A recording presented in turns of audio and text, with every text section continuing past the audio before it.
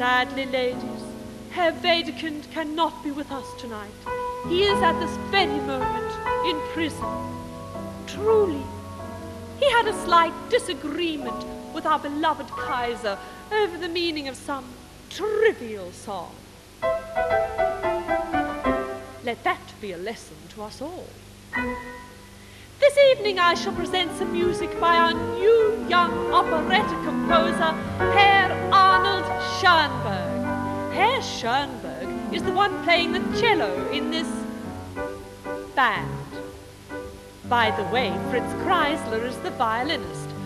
So to begin, the story of a young lover who takes tea with his girlfriend.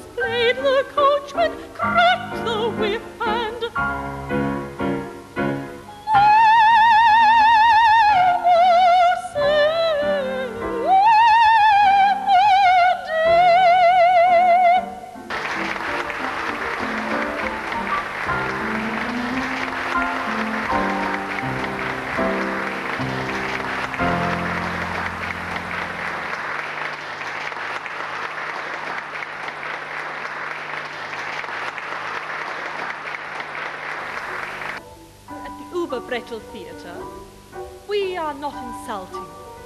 We are not vulgar. That may come later, but here everything is in good taste. Let me sing you the innocent Lied of a young lover whose girlfriend adores animals, and one furry animal in particular.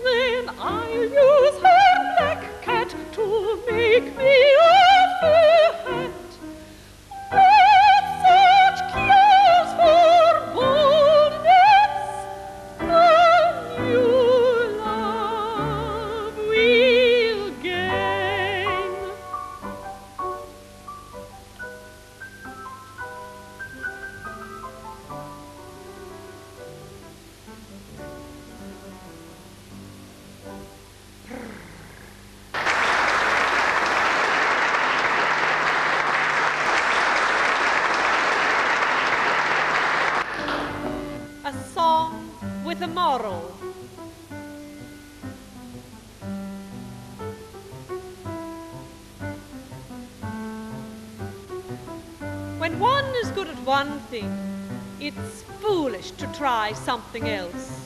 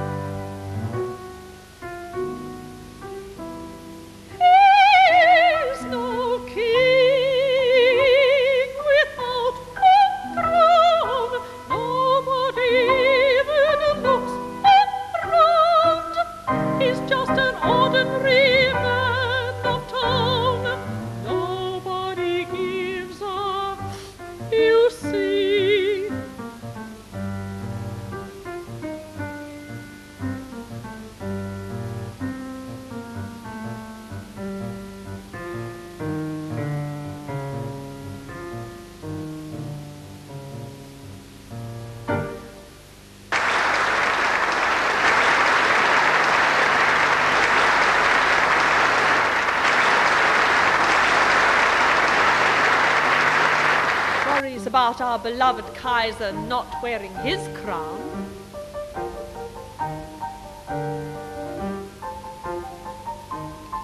He has a uniform for every hour of the day.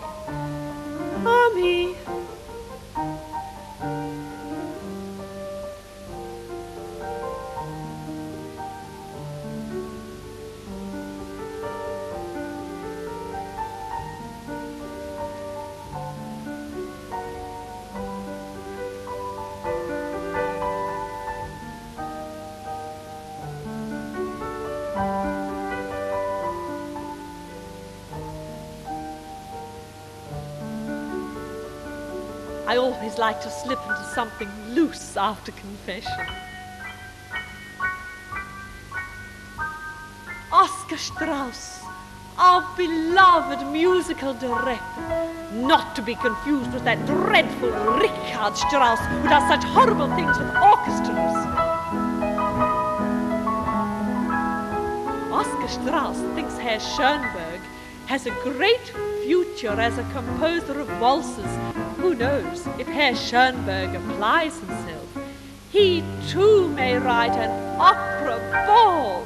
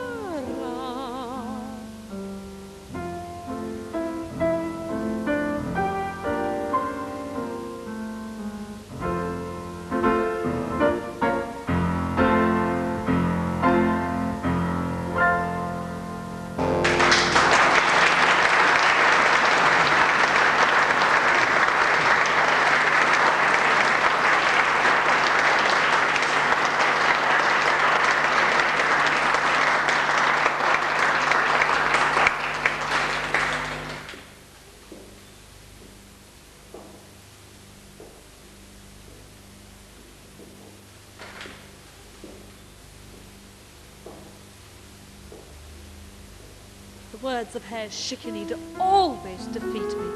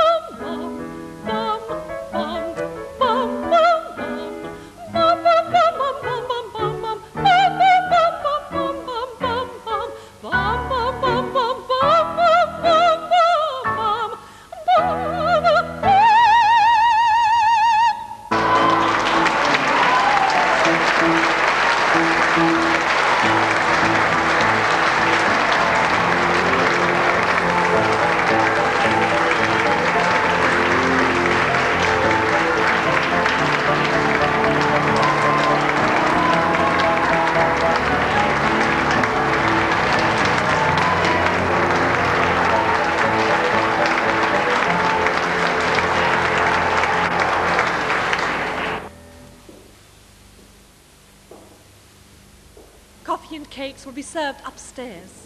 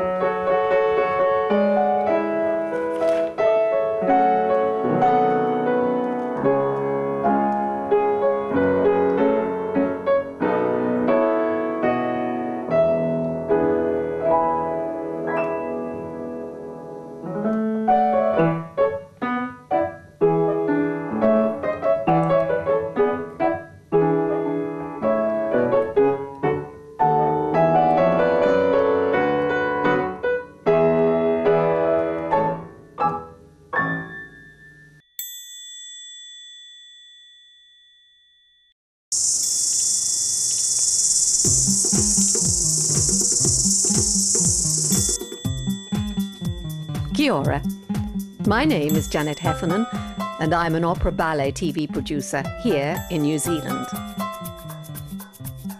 Welcome to Auckland in the 21st century, a beautiful, clean, fresh, modern city in the South Pacific, which, thanks to the miracle of modern communication, is now very much part of the world. But only a few years ago, in the 20th century, Auckland was a very different place. Air travel was expensive, communications with the rest of the world were either by snail mail or expensive toll calls. Colour television only arrived in 1975, and videos and DVDs were unknown. Auckland could have been on another planet, cut off from the rest of the world. Professional opera and ballet performances, although popular, were few and far between. Visiting superstars rarely visited, and if they did, it was usually at the end of their careers. But musically, Auckland at that time was an exciting place to be. It was vibrant, young, and enthusiastic. There was a blossoming of young and talented performing artists with ambition and drive.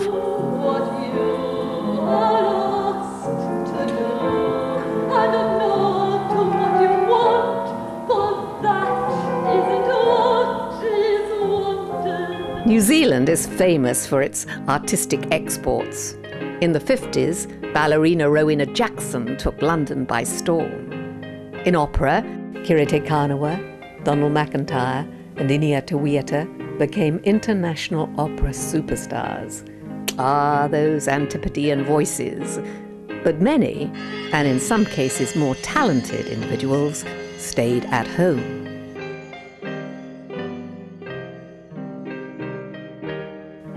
It was to this exciting city that my husband, Dr. Miles Heffernan, an Oxford educated GP, came to work.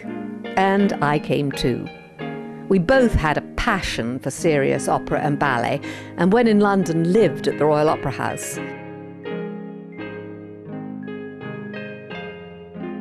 But he needed a new challenge, and so did I.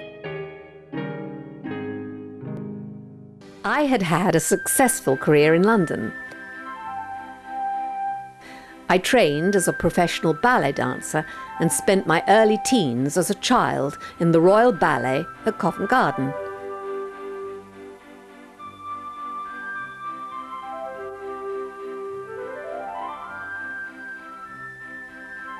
A privileged position as Ninette de Valois didn't normally allow children to appear on the stage.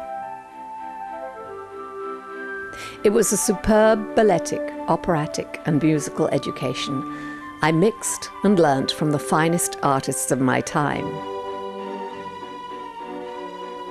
I was chosen by Benjamin Britten to appear as Mrs. Sem in the first performance of Noah's Flood, alongside the young Michael Crawford. It seems that my performance was outstanding, and unknown to me, I became a star of the 1958 Aldeburgh Festival even appearing like a young Charlotte Church at a special Wagner Abend as a surprise item, accompanied by Britten himself. Britten had been looking for years for a young girl to play Flora in his masterpiece, The Turn of the Screw. He had already auditioned 40 potential Floras for the premiere, but had to make do with a small adult soprano of 50. He vowed that the screw would never again be produced until he found his perfect Flora. He wanted a young, intelligent 15 year old who could cope with both the extremely difficult part and the sexual connotations of Henry James's novella. I had no idea then, and I expect neither did he, that I was to become his first young Flora. Shall stay the same.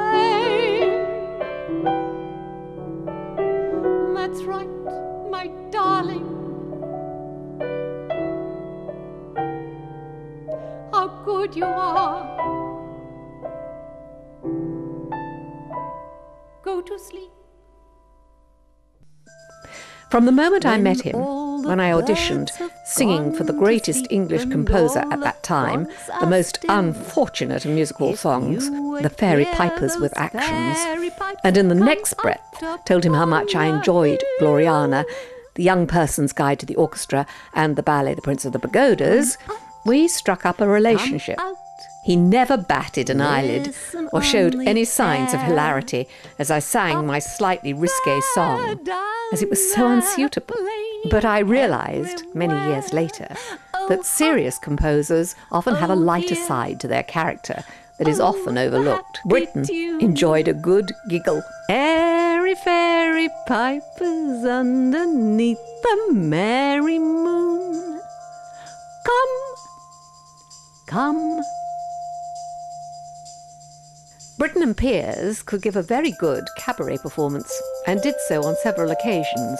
And Ben, as I was told to call him, was great fun to be with, and had a wicked sense of humour. When asked which character he would like to be in Noah's Flood, he thought, grinned, and said, Mrs. Dove. In Auckland, I discovered a group of young, highly motivated musicians who were capable and keen to perform some of the world's greatest and most difficult masterpieces. A performing artist must perform. They can't wait until they're dead to be appreciated.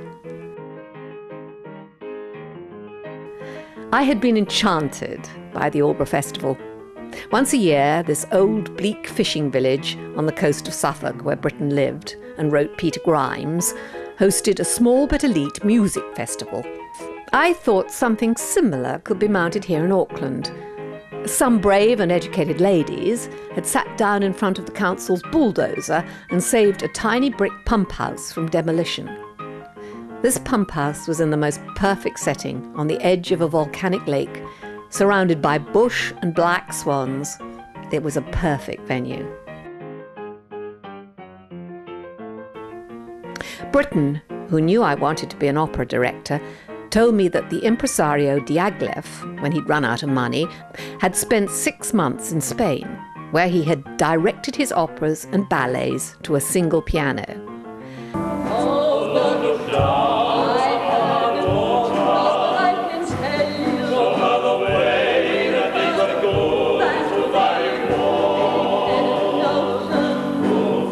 It seems these were the performances that Diaghilev enjoyed the most, as he had for once total control, which he never did in large theatres and companies.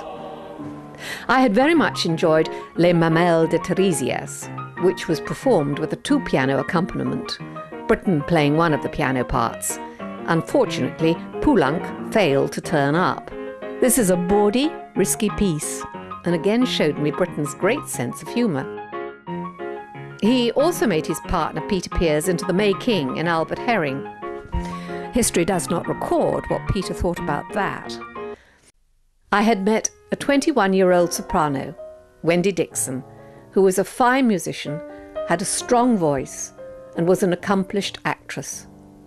She had played the child in our first production, a stage version of L'Enfant et les Sortilèges by Ravel, teamed with Ravel's Scheherazade.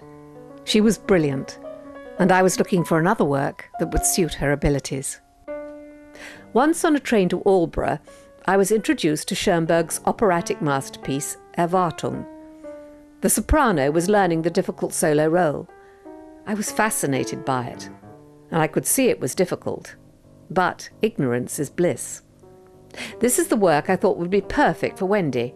Wendy jumped at the opportunity to tackle perhaps the greatest lyric work for a soprano of the 20th century, even though we could only do it with a piano.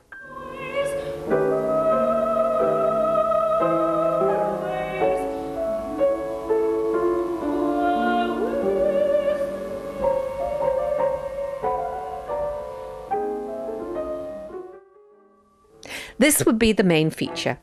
It was only 27 minutes long, so I had to find an opening item. Nowadays, a Erwartung is usually paired with Bluebeard's Castle by Bartok, which I produce later.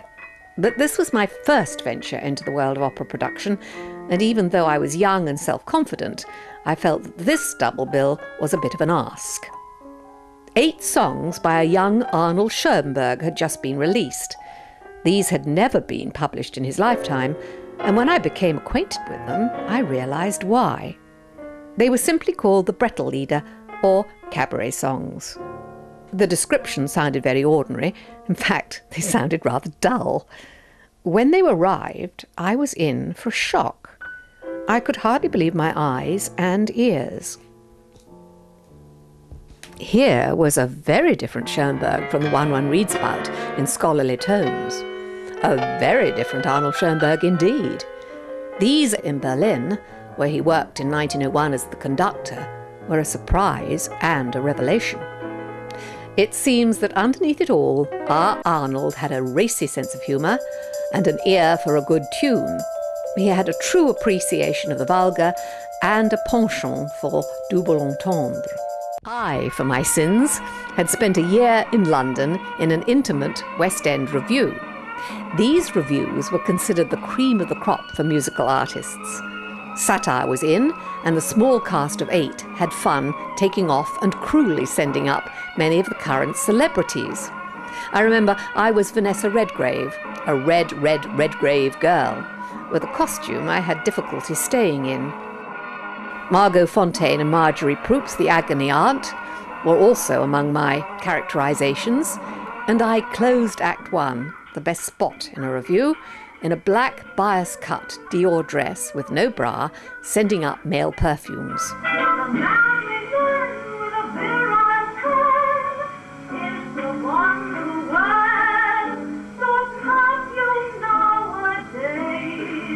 Brut, Old Spice, and moustache. I collected no end of fans, perfumes, flowers, chocolates, the lot. It was all deliciously vulgar in the best of all the worst possible taste. It was a privilege to work in the West End. One has to have a sound sense of the ridiculous, be somewhat of a rebel, and willing to take outrageous chances to perform in this sort of intimate review. It is risky, we were forever being censored by the Lord Chamberlain's office. And so, I found out, was Schoenberg. Poor Frank Wedekind, the famous playwright, even got put in prison. I began to like Herr Schoenberg even more. He was of the people, and to whom I could relate. Had he chosen to, Schoenberg could have outstraussed Johann, Oscar, and Richard. At the beginning of a creative career, Artists are often forced to take unfortunate jobs just to survive. At 18, I was capable of directing Erwartung, but I was forced to work in London musicals. Britten had to work for the Post Office Film Unit, and Schoenberg, it seems, for the Überbrettl Theatre. All jobs in later life one would rather forget. Eight years later, Schoenberg wrote Erwartung, perhaps the definitive lyric work of the 20th century of which he is its foremost composer. After Schoenberg, nothing musically is the same again. Why not stage the cabaret songs as a prologue to Erwartung? The two genres were poles apart, and yet Schoenberg was master of both. I never let the fact that no one had done it before, or it seems since, stop me. With my background in musicals and revue, I thought I could create a mise en scène that might be appropriate for a literary cabaret in Berlin at the turn of the last century. Twenty years later, James Levine of the Metropolitan New York has the same pairing, Erwartung Cabaret Songs, on his CD with Jessye Norman. So I was on the right track. William Dart was the classical pianist I had engaged to play Erwartung. I asked him and he just said yes, for which I now realize I shall be forever grateful, as I know that no one else would have accepted, as it is so difficult to play. Anyway, he turned out not only to be a classical pianist, but an accomplished jazz pianist as well. He too had a secret side to his nature that I knew not of. He was absolutely perfect and could cope with both the sublime and the ridiculous. William, too, has a wicked sense of humour and entered into the spirit of the piece. William Dart is a truly remarkable man. He is senior lecturer in music at Waikato University, and he has run a radio program on Concert FM for 26 years, featuring a quirky selection of popular music. But he also publishes and edits the foremost art magazine in New Zealand. Art New Zealand features all the fine artists in an erudite and enjoyable way and is a must read for all art lovers in this country. As well, Dart finds time to be the classical music critic for the New Zealand Herald, for which he writes many articles. His knowledge of classical music, jazz, pop, and fine art is astounding. All I had to do now was to find a cabaret singer who could do these songs justice. This was not difficult. A beautiful opera singer with a ravishing voice, who fortunately had not deserted Auckland, was available. When I first heard and saw Louise Malloy perform, I was bowled over. I had seen one of the first performances of Kiri Kanawa's debut performances as the Countess in The Marriage of Figaro, where she brought the house down by her beauty and presence and voice. But here in Auckland was another singer of such stature. As well as opera, Molloy had played the leads in many musicals. She had the right credentials and experience to do justice to these songs. Vocally accomplished with a ravishing top range, a beautiful figure, and again a sense of fun, which is necessary for the tongue in cheek songs. I was fortunate to meet one of the finest costume designers I have ever known. Remember, I was dressed in London by some of the finest theatrical designers. Elizabeth Jenkins had trained in theatrical design in Croydon. She designed and made two of the most glorious costumes I have ever seen. The mise en scène was mostly my drawing room and my daughter's canary. I used a melange of colour slides to add to the effect. I even used some film of the Kaiser, this was the first time that this had been attempted in Auckland, and it was met with a barrage of criticism from the local critics who were not amused. Where was the painted canvas scenery? On the last night, we just did three performances. The lighting designer suggested I had the performances videotaped. This was the best suggestion he ever made, and the best $400 I have ever spent. It is these tapes that you are now seeing Sadly, the original colour cameras of 20 years ago, although far more expensive than today's consumer models, were far from perfect. Lastly, I must thank the Schoenberg estate for the rights to make this performance of Schoenberg's cabaret songs on a rather blustery night in an old pump house in Auckland, New Zealand, available to the world. Erwartung, the best production I have ever done, is coming soon. Enjoy. If woman cannot love a man, then she's neither cold nor warm. She lies there just a block of ice and never runs true to form. But I am quite a different girl, a rather helpful, friendly girl. My heart I gratefully unfurl it happily goes come, come, come, come.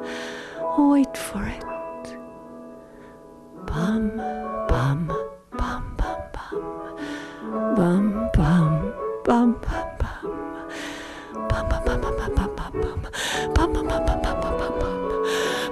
bum, bum, bum, bum, bum. Bum, bum. Oh. Except I think I'm made of noise. Could you just do the last bit again? So I don't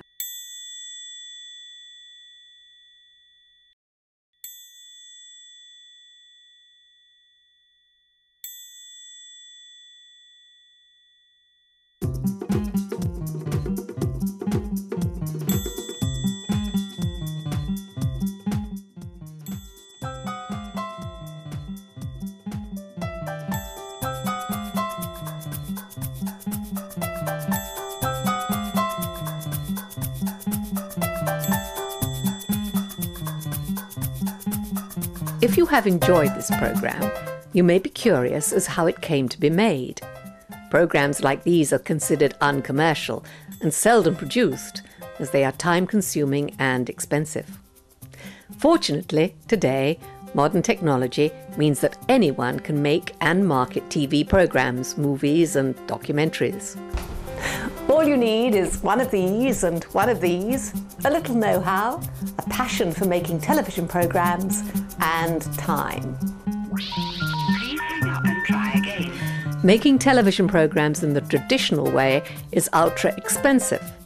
So, to make money, most commercial TV programs and films are aimed at the 29 year old male, as this is what production companies believe is their most lucrative market. That's fine if you are a 29 year old average male who likes professional wrestling, motor cars, sex, violence, and computer games. But not so good if you like opera, ballet, bookbinding, and croquet. Please hang up and. Over the past few years, all has changed. Today, anyone who is passionate about television or film can make acceptable quality television or video movies at home using just the basic edit program on a home computer and an ordinary DV camcorder. So, what can you produce at home? Here is a sample of some of my TV programs that I have been able to make available to the world from my home in New Zealand via CreateSpace DVD on demand and Amazon.com.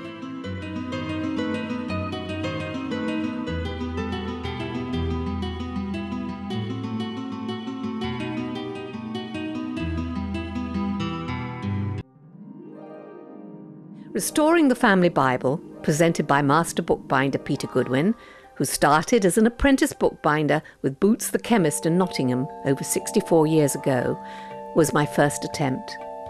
The next thing is, now having got the brass edge binding off, we have to now remove the cover from the book itself, so we can get at the the spine area to see the state of the sewing. And we cut through the, the cloth joint with a knife, and that uh, allows the cover to drop off there. And do the back.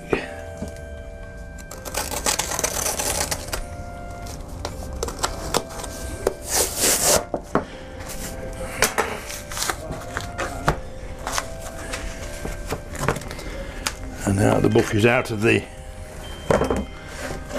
case is removed.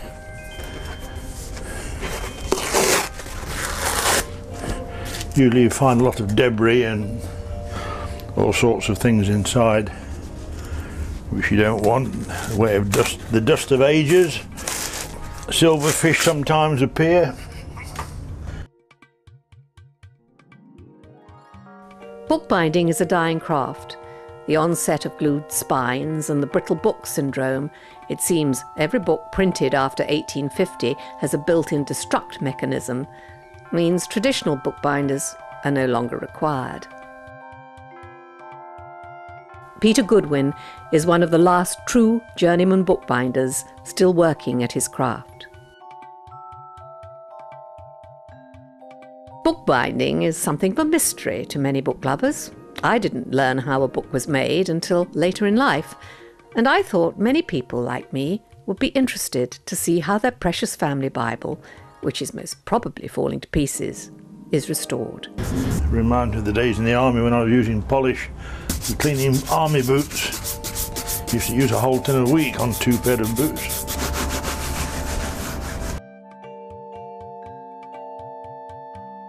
This was the first of what has proved to be a popular series, and four other titles followed.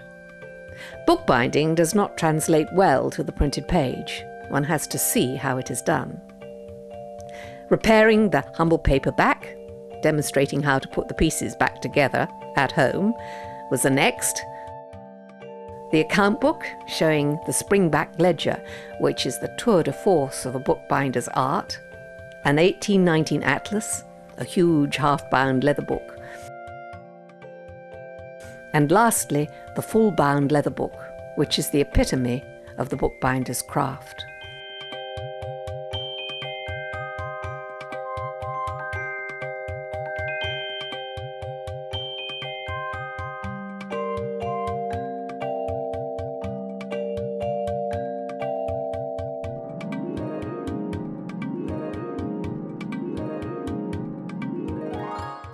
This knowledge would have been lost unless someone took the initiative and time to film a master bookbinder in action now. Tomorrow is too late.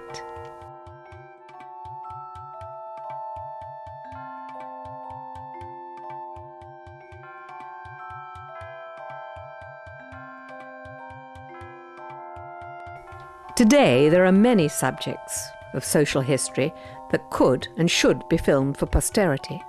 And with a little time and effort, anyone can do it. Virtually everyone has a story to tell or a skill to pass on. The cabaret songs and Erwartung by Arnold Schoenberg are good examples of social history. They show what was being produced in Auckland by a group of young professional singers and dancers in the 1980s. Against all odds, and with very little money, these intrepid performing artists produce some exceptional performances which are still acceptable today. No government grants meant the establishment took little notice. They were airbrushed out of history. But the evidence of one's eyes proves just how special this group of artists were. But for the fact they were videoed as keepsake, their brilliance would have been lost and the world would be poorer.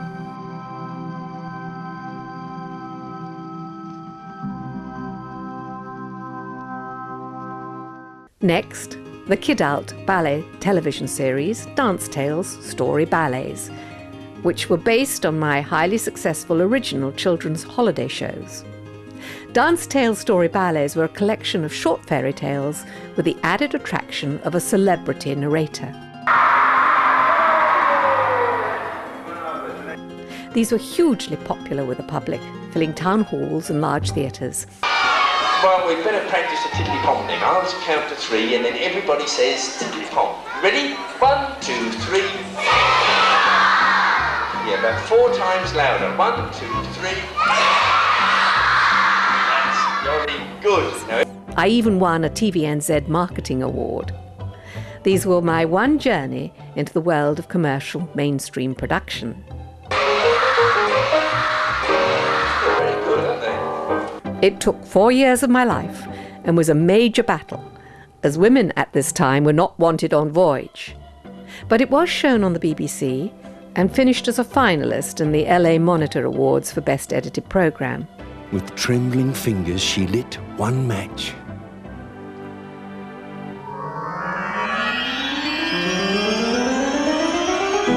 At once, it seemed to become like a magic taper, and in its light, she thought she could see a huge shining fireplace. Oh, oysters, come and walk with us, the walrus did beseech. Uh, we cannot do with more than four uh, to give a hand to each. But try as she would, the poor girl could not sleep. All night the naughty pea prodded and poked. But little Red Riding Hood did not feel at all afraid.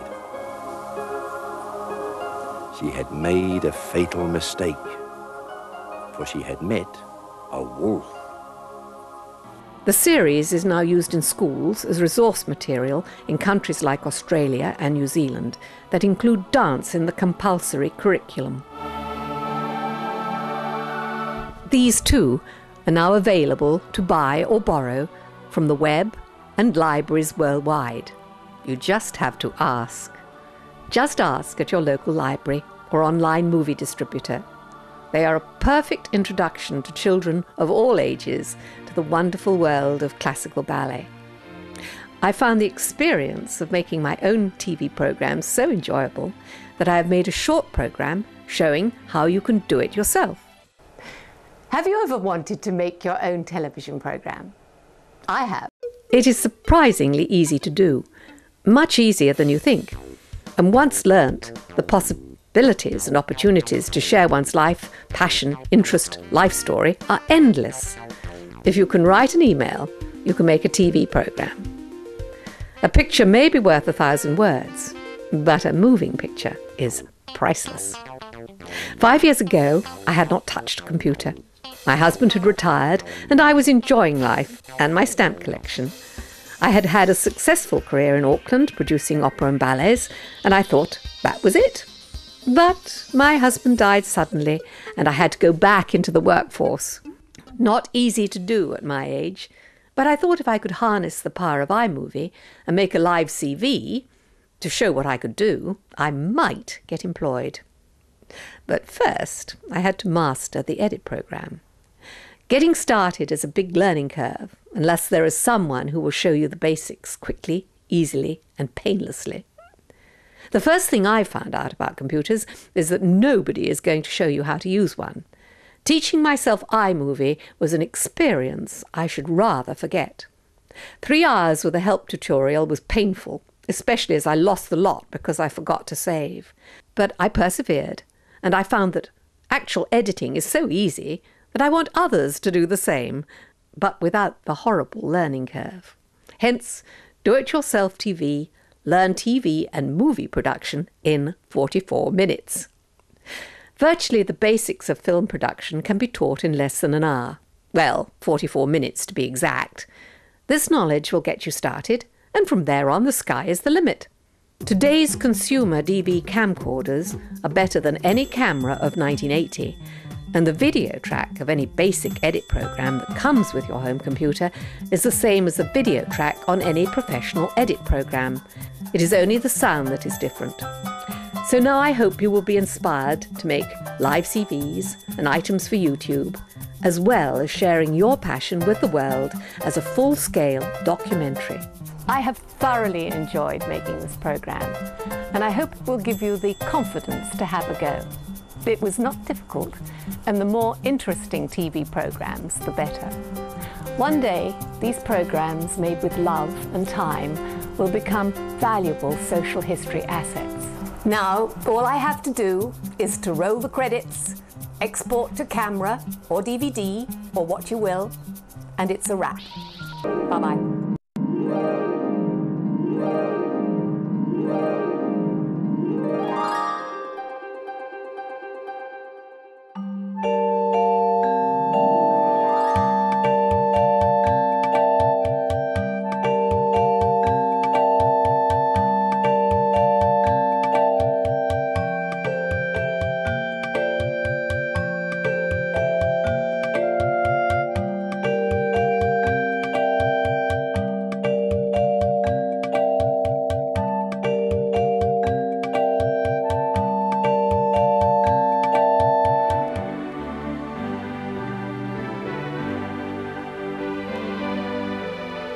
Dare she light one of her matches?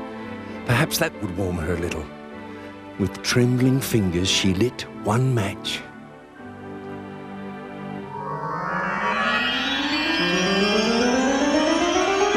At once, it seemed to become like a magic taper, and in its light, she thought she could see a huge shining fireplace.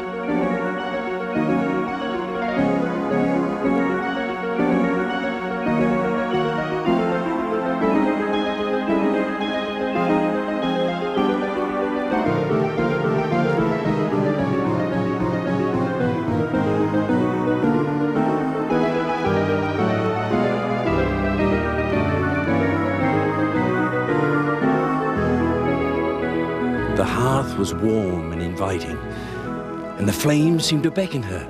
Come and be warm, come and be warm.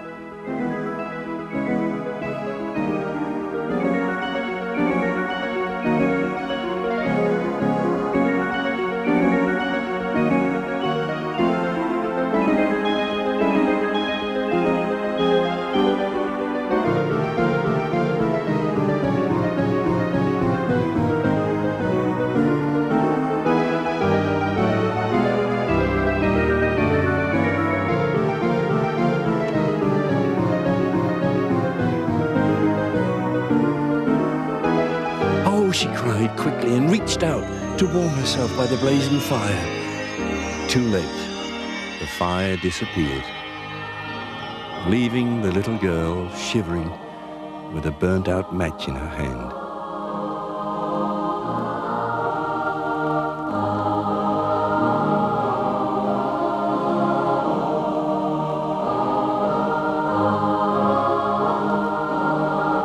The sound of carols reminded her again of Christmas, and she felt even more lonely.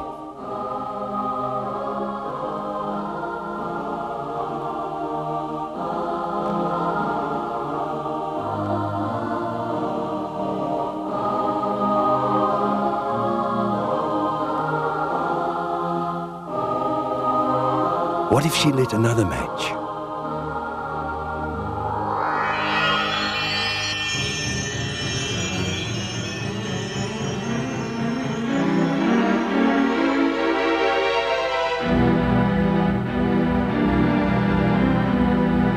Once again, the match burned brightly, and this time, wherever the light fell on the wall, it seemed to her that she could see through, into the room beyond.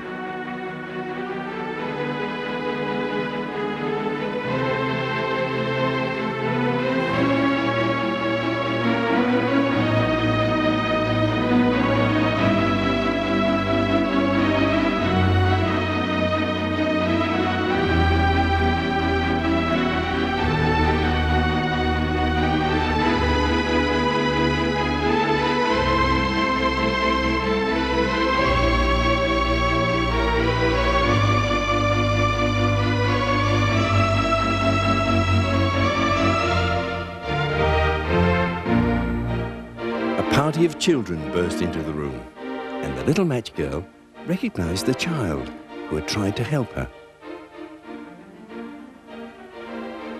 The children were looking for Dr. Drosselmeyer, who always appeared as if by magic.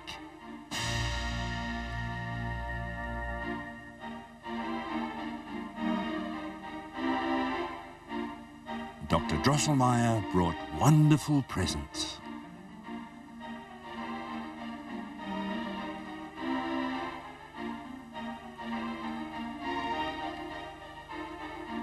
This time, a toy theatre.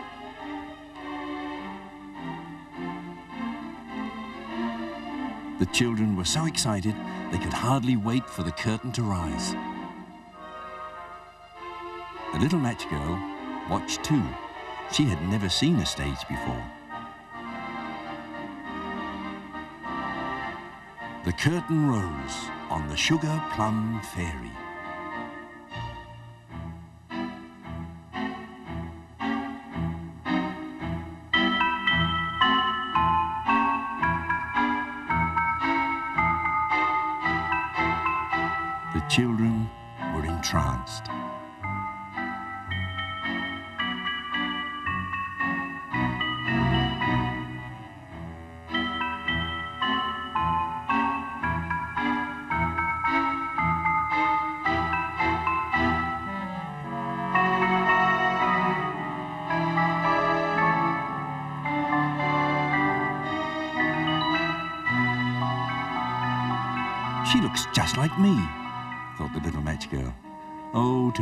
Sugar plum fairy in a land of sugar and spice.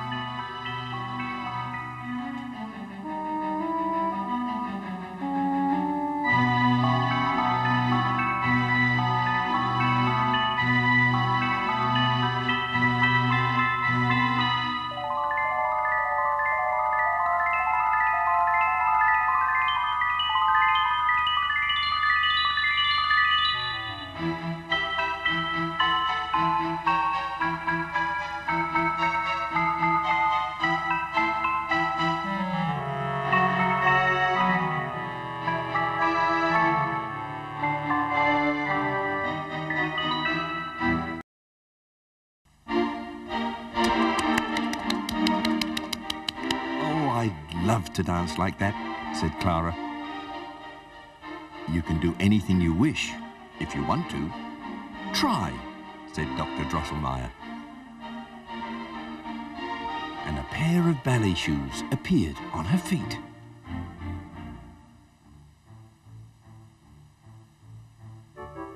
She started to dance.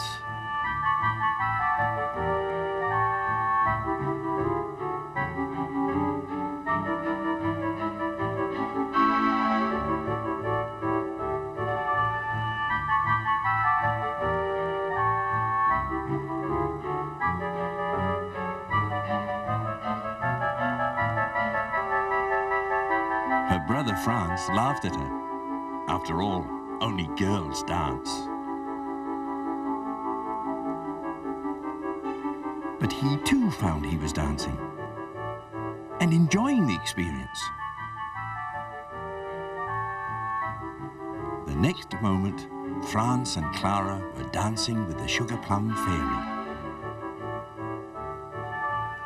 And Clara thought she looked very like the little match girl that she had tried to help.